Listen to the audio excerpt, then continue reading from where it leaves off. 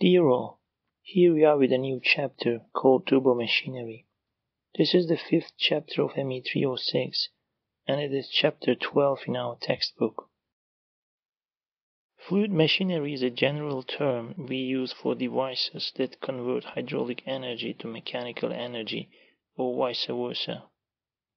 Hydraulic energy stored in a fluid can be in the form of elevation, pressure, or speed. Mechanical energy, on the other hand, can be a moving piston or maybe a rotating shaft. The pump you see here is a power absorbing device. Fluid gets energized as it goes inside it. Work is done by a rotating shaft on the fluid to increase its pressure. Mechanical energy is converted into hydraulic energy. A wind turbine works in the opposite way. It is a power producing device. Kinetic energy of the blowing wind is converted into mechanical energy. It is used to rotate a shaft which then produces electricity. This time work is done by the fluid on the rotating shaft. Fluid machines can be of two types, positive displacement machines and turbo machines. Here you see the general working principle of positive displacement machines. Your heart, for example, is a positive displacement pump. Let's watch a short video to see how it works. The normal heart has two sides, a right side and a left side, and four chambers. The top receiving chambers, or atrium, and the lower chambers, which are thick-walled pumping chambers, called ventricles. Red blood cell will come from either the superior vena cava or the inferior vena cava and enter into the right atrium. The blood then flows across the tricuspid valve to the right ventricle. The right ventricle then squeezes and ejects that blood cell into a vessel called the pulmonary artery pulmonary artery splits into two vessels, each going to the lungs. As that red blood cell makes its way through the lung, it returns through the pulmonary veins to the left atrium. That blood is now oxygenated. It's picked up oxygen, then goes across the mitral valve into the left ventricle, which does most of the work in terms of delivery of blood flow to the body. That blood cell is now ejected into the aorta to some organ or muscle or skin in the human body. We just watched the general working principle of positive displacement machines. Go ahead and watch it again if it was a bit fast. In positive displacement machines, fluid is transferred by moving the boundaries of closed volumes that enclose the fluid. Chambers of the heart are these enclosing volumes. As these chambers expand and contract, blood gets sucked in and pushed out. All positive displacement fluid machines work with a similar logic. Let's watch how a gear pump works for example. In this Wikipedia page, we see animations of external and internal type gear pumps. These are rotary type positive displacement pumps. In the external one shown above, fluid is sucked into small volumes between the teeth of the gears, and as the gears rotate, it is transferred to the outlet at the top. This way the fluid is continuously transported from one place to another. The internal gear pump shown below does a similar job. This time fluid is transferred from left to right. Following the flow path is a bit more tricky in this one. Just pay attention and watch again if you need. Before closing this positive displacement type fluid machines part, let's see what happens when your heart which is a pump, fails. In a certain type of severe heart failure affecting the left side of the heart, a mechanical pump may need to be used to assist your heart. Let's watch a short video about it. In left-sided heart failure, the left ventricle is not able to pump enough blood to the body. The two types of left-handed heart failure are diastolic, where the left ventricle can't relax enough to fill with blood, and more commonly systolic, where the left ventricle can't contract strongly enough to push blood to the body. In severe or end-stage heart failure, the heart is getting weaker and doesn't respond to medication. For left-sided end-stage systolic heart failure, a doctor may recommend an implantable left ventricular assist device, or LVAD, to help the heart pump enough blood to the body. An LVAD is a small mechanical pump implanted inside the chest or abdomen that takes over the job of the weak left ventricle. Blood flows from the left ventricle through an inflow tube to the pump. The pump pushes the blood through an outflow tube into the aorta. From here, the blood travels normally from the aorta to the rest of the body. A cable, called a drive line, connects the LVAD pump inside the chest to a control unit located on the outside of the body. The control unit is a small computer that controls the functions of the pump and alerts the patient if there are any problems. The pump and control unit receive power through a cord connected to a battery pack. Finally, the control unit and battery pack are held in a lightweight patient pack. The second type of fluid machinery is called turbomachines, which is the subject of this chapter. For all turbomachines, the common components are the rotating shaft and the parts called blades, vanes, or buckets attached to the shaft. These parts also rotate with the shaft and they get in contact with the fluid. They either do work on the fluid to pressurize it or to give it a certain speed, or the fluid does work on them so that the shaft can be rotated to do some useful task, such as providing the necessary thrust to an airplane or generating electricity. You see four different turbomachines in this slide. The first one is a cooling fan used in electronic devices such as computers. It pushes the air in one direction with a certain speed so that the heat generating electronic part can be cooled down. Second one is a pump that is used to pressurize liquids so that they can be moved inside pipes at the desired flow rate. Next one is a Pelton wheel which is a hydraulic turbine that uses the stored energy in the fluid to generate electricity. And the last one is another type of hydraulic turbine called the Kaplan turbine. Pause the video here for a minute and try to see the common turbomachinery components in these images, the shaft and the rotating parts attached to it. Turbomachines can be classified in many different ways. Here you see a classification based on whether they absorb or produce power and further whether the working fluid is incompressible or compressible. On the far left we see the pump. Pumps are used to pressurize liquids such as water, oil or blood. The one shown here is a centrifugal pump which will be studied in detail in this chapter. Fluid enters in here parallel to the shaft.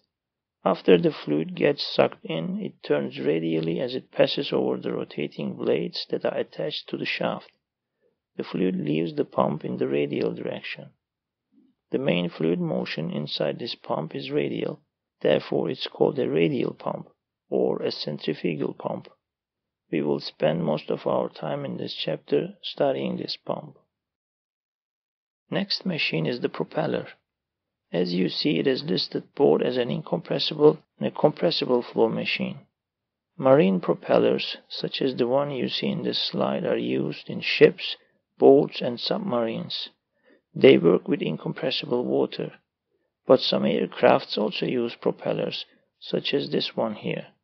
The high-speed air flowing over them can have a Mach number larger than 0.3, and the compressibility effects may be considerably large. As you see, the two propellers shown here have very different designs. One has three large blades and the other has several thin blades. What do you think is responsible for these design decisions? Next one is the fan. As you see, a fan looks quite similar to the aircraft propeller of the previous slide. Their main difference is the purpose of their use. In other words, the effect they create on the fluid. A propeller is used to create the thrust force necessary to move a ship or an aircraft. Its main job is to create enough pressure difference on the two sides of its blades, and this pressure difference creates the required thrust force. But the main purpose of using a fan is not to create a high pressure difference. The purpose is to create a desired flow rate. The one shown here is the fan of a wind tunnel. It has nothing to do with thrust force generation. Instead, we use it to generate the airflow rate necessary to perform experiments. These are also fans. The first one is used to generate a gentle breeze of air for the comfort of people in a room. Notice how similar its blades look like to those of a marine propeller, almost identical. The second one is the cooling fan of a computer. This one looks more like an aircraft propeller. As you see, the fan is listed as a compressible flow machine, but it is better to list it under both incompressible and compressible, just like the propeller, because the last two fans shown here do not experience much compressibility effects. Next power absorbing turbo machine is the blower. The one you see here is a centrifugal blower. Notice how similar it looks to the centrifugal pump we saw earlier. The difference is that a blower works with a gas, not a liquid. When we search on Google for a blower, what we find looks more like this. This blower is typically used to blow away the leaves fallen from trees. And the final power absorbing machine we have here is the compressor. Compared to fans or blowers, they create much higher pressure ratios between their inlets and outlets. Similar to a pump, their main task is to pressurize a fluid, but this time a gas. The one you see here is an axial compressor. In axial flow turbo machines, the main flow direction is parallel to the rotating shaft, both at the inlet and at the outlet. The radial velocities are small. Radial compressors also exist, and they look like this. They are very similar to radial pumps. At the inlet, the flow is parallel to the rotating shaft, but as the fluid passes over the rotating impeller blades, it turns and gains radial velocity. The original axial compressor shown in the slide is a multi-stage compressor. As you see, it has several rows of blades attached to the shaft. It has a low pressure and a high pressure part. The required pressure ratio is so high that it can only be achieved by using two parts together. Compressors are used in several different applications, such as inside gas and steam turbines that are used to generate electricity in power plants or in aircraft engines. In these applications, we use axial compressors like the one shown here. Compressors are also used in natural gas pumping stations so that the gas can be carried hundreds of kilometers inside pipes. The following video gives a few details about compressing natural gas.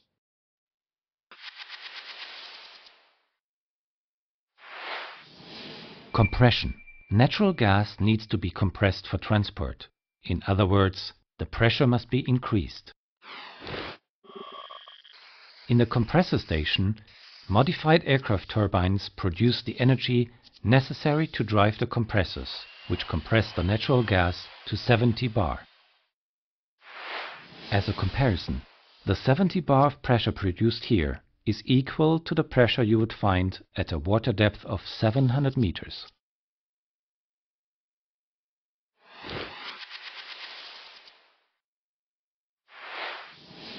Cooling the gas heats up while being compressed. Therefore, after compression, it must be cooled down in gas coolers before the forwarding stage. A ventilator blows cool air over the pipelines, which are covered with fins. Here the gas is cooled from temperatures of up to 55 degrees Celsius down to roughly 30 degrees Celsius.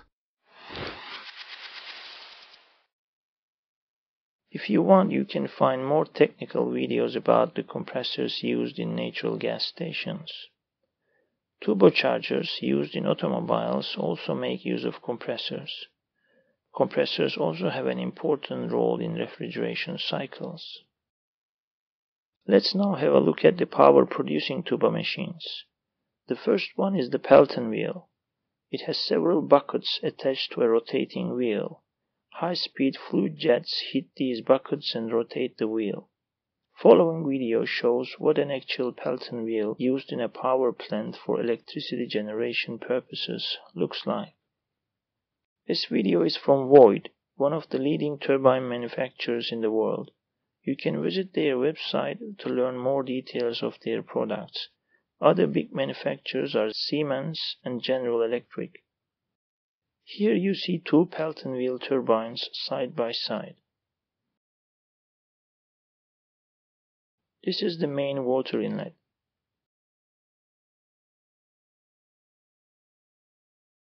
It is divided into six branches.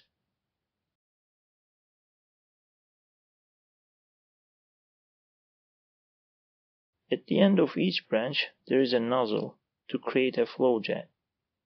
The yellow part is used to open or close the nozzle, and the red part can slide inside the nozzle to adjust the flow rate. The jets coming out of the nozzles hit the buckets and exert force on them, which results in rotation. Largest Pelton wheels used in hydraulic power plants can produce up to 200 megawatts of power. The next item in our chart is called the hydraulic turbine. Actually, Pelton wheels can also be counted as hydraulic turbines, but when we say hydraulic turbine, we typically mean Francis or Kaplan types. They are used in dams to generate electricity. Depending on the height of the water reservoir behind the dam and the flow rate that can be fed into the turbine, either a Francis or a Kaplan type can be used. Here you see the runner of a Francis type turbine, designed for one of the largest dams in the world, the Three Gorges Dam in China. This dam has 32 Francis turbines, each producing 700 megawatts of power. In total, the dam's capacity exceeds 22 gigawatts, which is larger than the total capacity of all dams in Turkey. Atatürk Dam is one of the largest dams in Turkey. It has eight Francis type turbines, each producing 300 megawatts of power. The next turbo machine is the steam turbine. Steam turbines are very important because they produce about 80% of the world's electricity. Afşin Elbistan thermal power plant in Turkey has four steam turbines, each producing 344 megawatts of power. Steam turbines are large, complicated, and expensive machines. You can find several nice videos on the internet explaining their components and general working principle. Next machine is the gas turbine. Unlike a steam turbine, which makes use of hot steam obtained by boiling water to generate electricity, a gas turbine makes use of gases produced by a combustion process.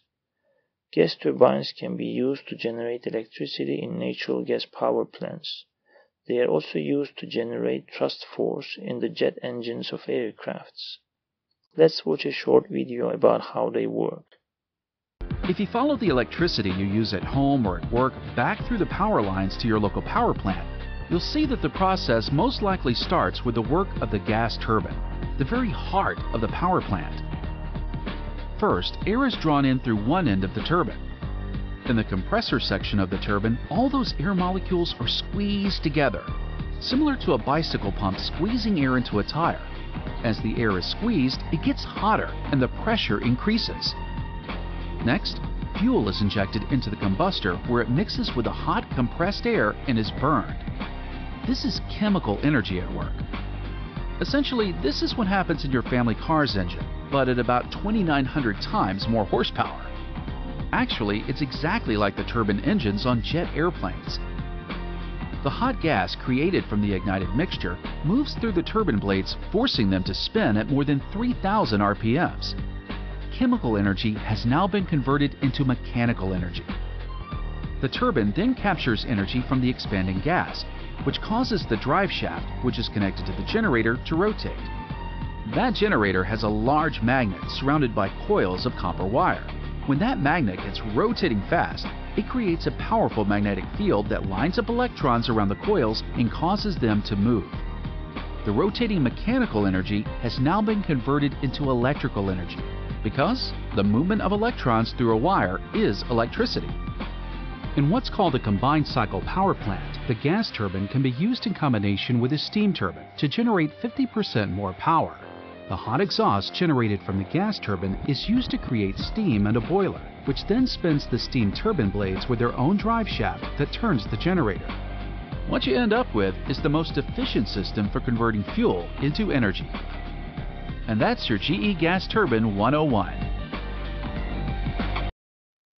As you watched in the video, gas turbines have also compressors in them, and they can be combined with steam turbines to generate more power. The final item in our list is the wind turbine. These slides are a bit dated and they say that Turkey's installed wind energy capacity is about 6 gigawatts as of 2017. That number raised to about 9 gigawatts by 2020. The total available wind energy capacity of Turkey is known to be 48 gigawatts. This is more than half of the electricity Turkey currently produces from all its renewable and non-renewable resources and the world's production is written to be about 490 gigawatts.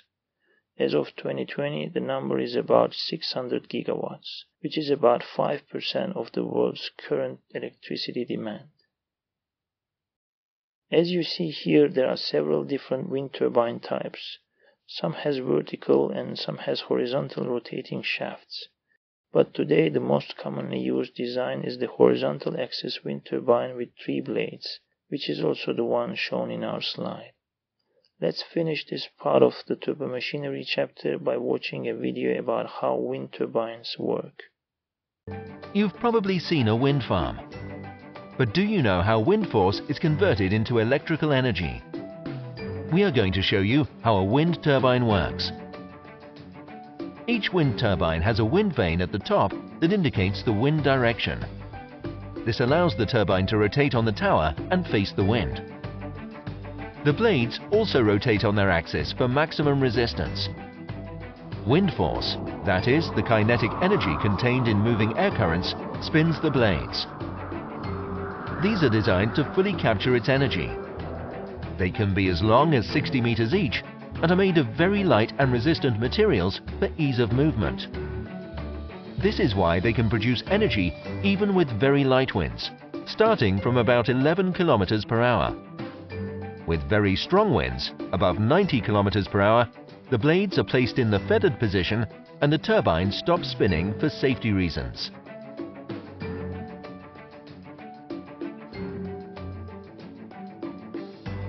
The blades are attached to the wind turbine through the hub, which is coupled to the low-speed shaft.